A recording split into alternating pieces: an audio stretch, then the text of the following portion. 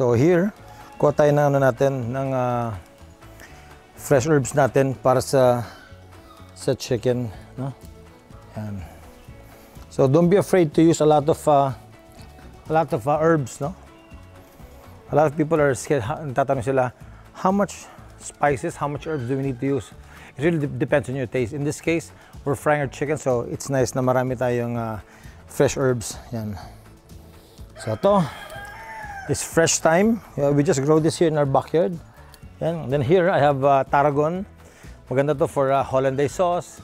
Masarap din siya for uh, for tea. Okay? Go. Should be good. It's good. Hello and welcome to Goma Home. Uh, today we're making fried chicken. Paano ba kayo gumawa ng fried chicken? Ito ang tanong. Sa bahay ninyo, sino talaga sa inyo yung magaling magluto ng fried chicken? Ano ba yung mga ingredients na nil- na nilalagay nyo? For me, I try to make it as simple as possible. Pero kailangan yung flavors niya komplekso. So we'll begin with uh, two eggs. Okay. And then put in some uh, milk. Yeah. Maganda yung uh, maganda yung milk sa ano. Maganda yung milk chicken. Sabi nila nakakalambot daw ng, ano, ng meat, nakaka-tenderize. And then we'll put in uh, hot sauce. Yeah.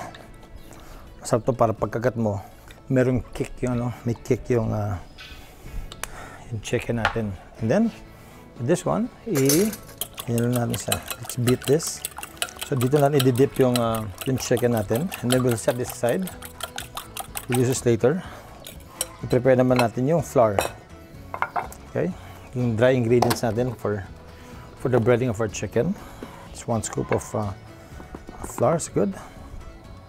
And then while we're doing that, we can already heat our skillet.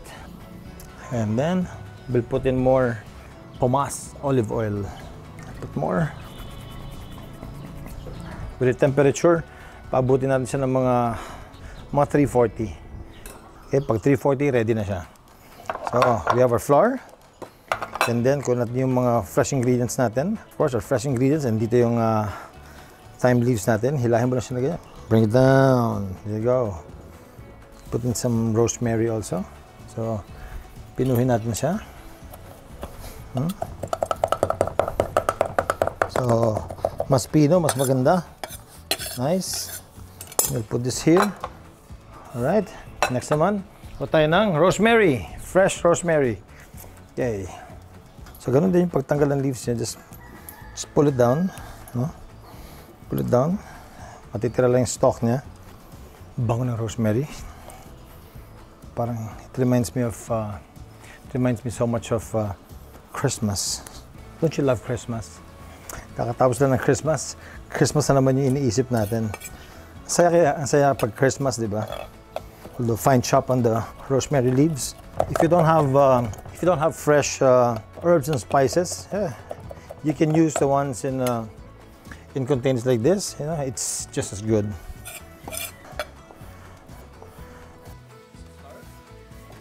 Freshly ground pepper. Okay, let's put in a lot. There. Let's put in some salt. Lots of salt. Okay. Yeah. Then let's put in some uh, cumin. Right.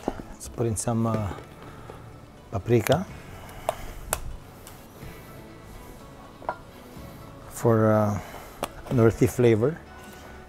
Then garlic. Yeah, put in garlic powder. There you go. Nice. And mix this. And then if we have some uh, some oregano, let's put in some oregano. There you go. Wow, sarap. Nice. So yung temperature natin, nasa 200 pa lang. So we have a lot of time. Let's mix this.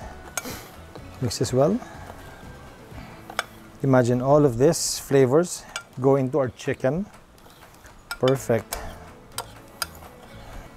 Check our temperature. Yun. Nasa in between 340 and 350, pwede na to. This is very good. Sakto na itong init na to. And then, gawin na natin chicken natin. Okay? First, we'll dip it here sa egg, milk, and uh, hot sauce uh, mixture natin. And then, once it's there, bigyan mo ng konting time, ilagay natin dito sa flour mixture natin with seasoning, herbs, and spices. Wow! From here on, diretso natin sa i-fry.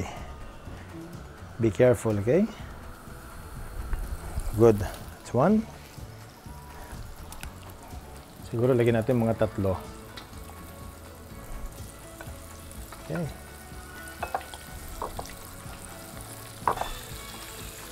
And pangatlo. There you go. Let's wash our hands. Kasi umawak tayo ng chicken. Some soap. There you go. Nice. Nice and clean.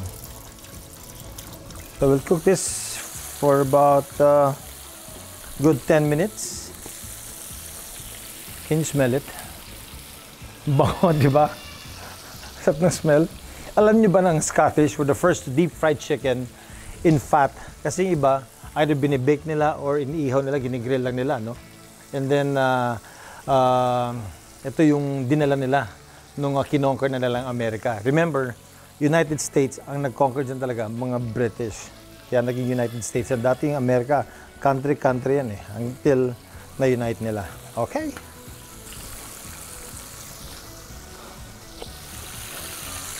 Okay, after 5 minutes, you turn the chicken. Wow, look at that. Ganda ng color. You do another 5 uh, to 6 minutes on the other side. Beauty. When you cook chicken, you really want chicken to be thoroughly cooked, no? Ayaw mo na medyo hilaw-hilaw ang chicken, yung may iwan na pula, no? It has to be thoroughly cooked. So, you can take mga 6 to 8 minutes on one side, especially pag yung mga malalaking parts, no? Ako, I love dark meat kasi I find it more juicy, I find it more tasty than uh, than white meat. But other people, they prefer using the, or eating the, the white meat, yung pecho, no? Yung breast. So again, cook your chicken well. Cook it thoroughly. Ayaw mo na may maiwan na dugo para salmonella, tas malansa. So while we're uh, waiting for chicken to cook, gawin natin, gawa tayo na, no? Lalagyan natin ng, uh, ng uh, onion rings. Okay? So, yun. Hmm. And then, cut our onions na makapal. There you go. Good. One more. Another one. Using the same mixture, yung flour mixture niya, hiwalay natin itong uh, onions. And then yung ibe-bread natin, kukot natin so the same breading. Okay. Maganda dito sa onions, this one will cook in just in 2 minutes, luto ka agad ito using that heat.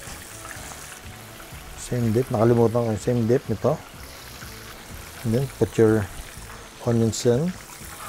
Okay, ganyan lang. Using the same solution, mixture. Alright. Hmm. Yan lang. Then we'll fry this para meron tayong onion rings. Kukunin natin chicken natin. And ganda. Oh. That's where I want my chicken. We'll put this on a bed of thyme and rosemary.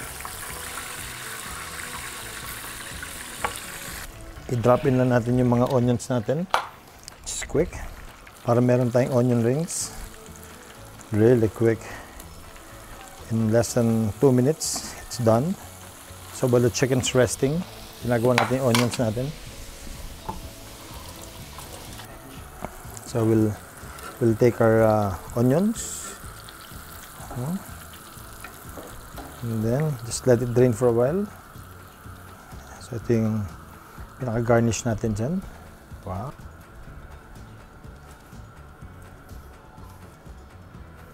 So here's our chicken. Then we'll um, then drop of uh, salt. Woohoo! How nice. Yeah. The best homemade fried chicken you can ever make.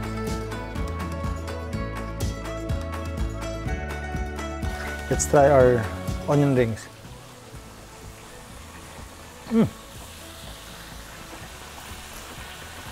Sarap. The chicken, pwede natin siya lagyan ng dash of um, lemon to give it more freshness. May freshness ba? Oh. Watch out kasi mainit yung chicken, ha? Okay. Let's try this chicken.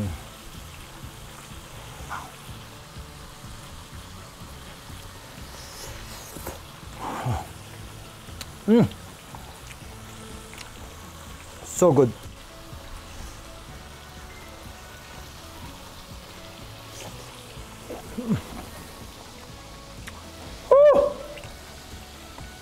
Sarap! At ang ninit! Hmm. This is the way to eat chicken. Masarap talaga sa manok. Yung kinakamay mo siya. One more bite before I say goodbye to you guys.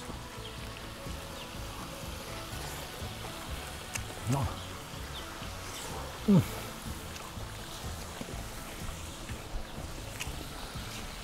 This is one of the simplest, but one of the best homemade fried chicken you can ever make. And thank you for watching uh, Gom at Home.